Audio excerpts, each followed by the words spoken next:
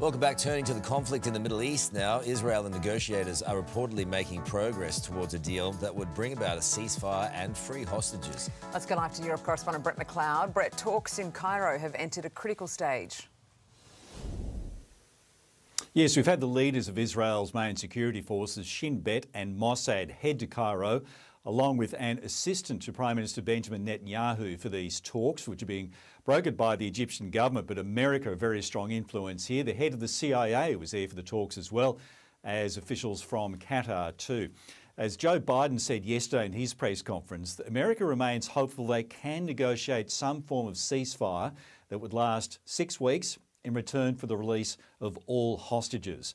It's a lot to ask for, particularly when you see those images from the raid where Israeli forces released two prisoners, two captives, uh, a couple of days ago, and the level of destruction required for that. And of course, Netanyahu's threat that he wants to see his forces move into Rafah itself, which is currently home to about well, more than a million people who've been made refugees from the northern part of Gaza.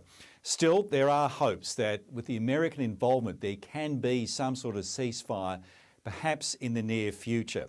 In the meantime, the BBC has had some footage released of the paramedics who are going, trying to save lives in impossible conditions during this war on the Gazan side of the border from the Red Crescent and the Red Cross. They're all volunteers. This is just some of what they've had to go through.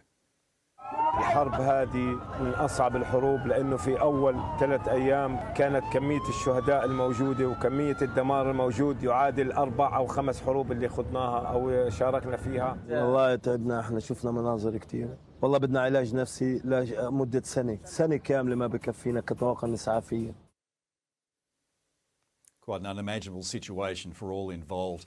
And while there has been a lot of talk about the possibility of a ground invasion into Rafah, it appears the Netanyahu government is for the moment holding off to see the outcome of these ceasefire talks in Cairo. Bit of heat on that one, Brett. Thank you.